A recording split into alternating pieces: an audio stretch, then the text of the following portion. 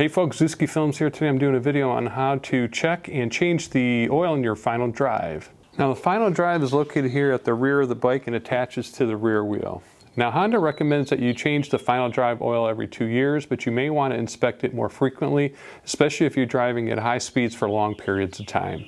Now don't forget to check out my channel. I have a playlist that's dedicated to the Honda Forza, which includes lots of other how-to videos. And finally, don't forget to check out the description below. It includes details on all of the tools, parts, part numbers that I've used today in this video, along with torque settings and chapter markings in case you want to jump to a specific section in this video. All right, let's get started.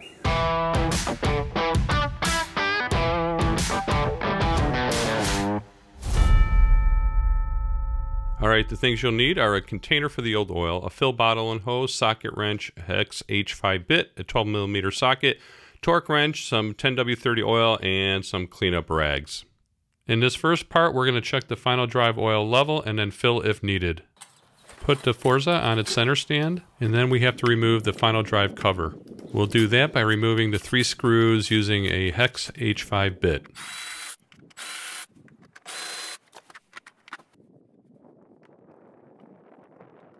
Place a container underneath the final drive to catch any oil. To check the final drive oil, we'll need to remove this bolt using a 12 millimeter socket.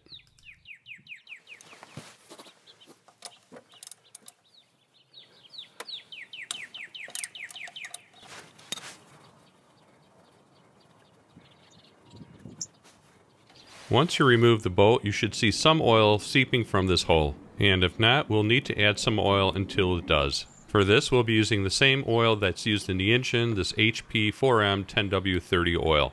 There's not a lot of room around the fill hole, so I'm transferring this oil to a smaller container. The fill bolt is just above the check level bolt, also using a 12 millimeter socket.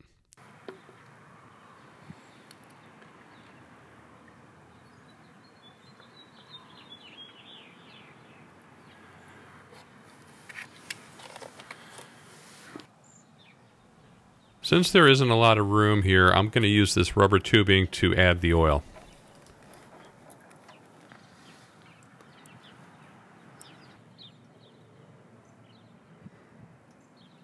Slowly add the oil until you see oil coming from the level hole. Right about here.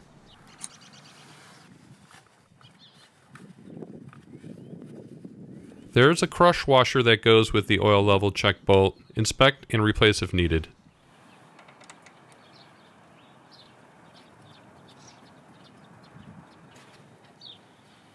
Torque this bolt to 13 newton meters.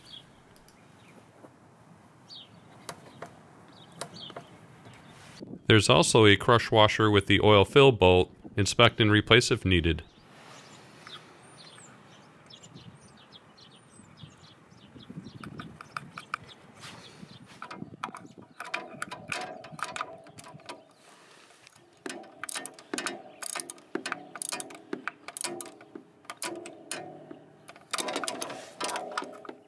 Also torque to 13 newton meters. Now in the second part, we're going to completely drain the final drive and then fill it with fresh oil.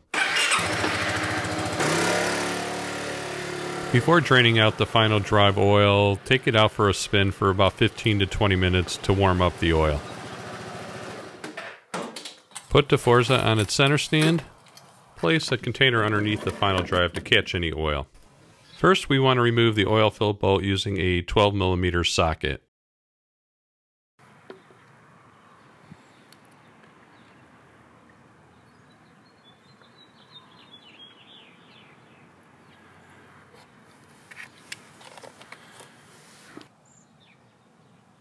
Now remove the oil drain bolt, also using a 12 millimeter socket.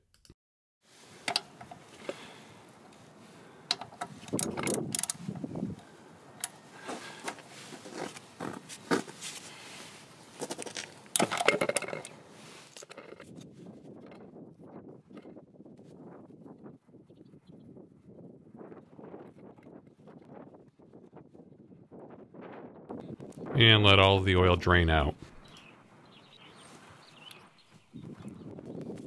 So if you find that this video is useful, please click the like button and consider subscribing to my channel. And if you do subscribe, hit the bell icon so you get notified every time I come out with a new video. Here's a comparison of what the old and new oil look like. And go ahead and clean up any excess oil. The oil drain bolt also has a crush washer. Inspect and replace if needed.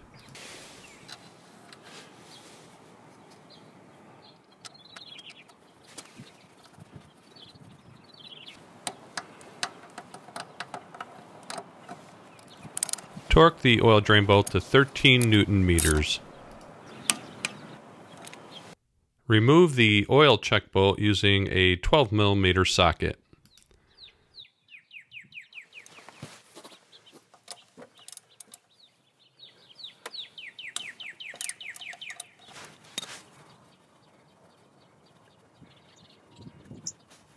For this, we'll be using the same oil that's used in the engine, this HP 4M 10W30 oil.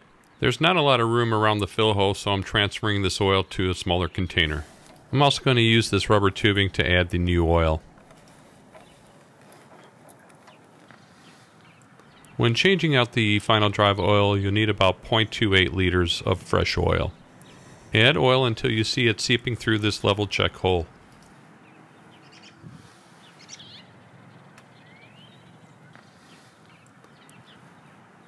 And that's about it.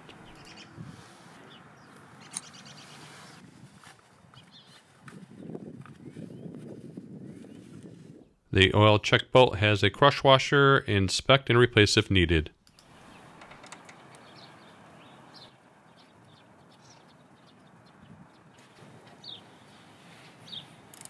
And torque to 13 newton meters.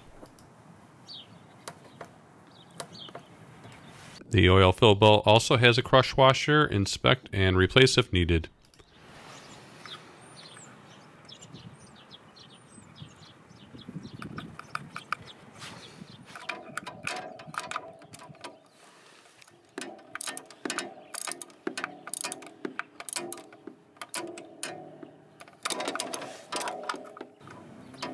Torque this boat to 13 newton meters. Clean up any excess oil and check for leaks.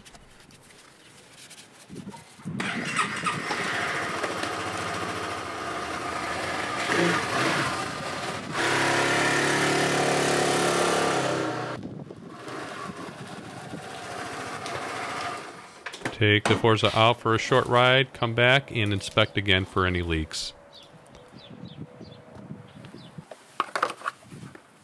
And the last thing to do is put the final drive cover back on using the three screws and the hex H5 bit.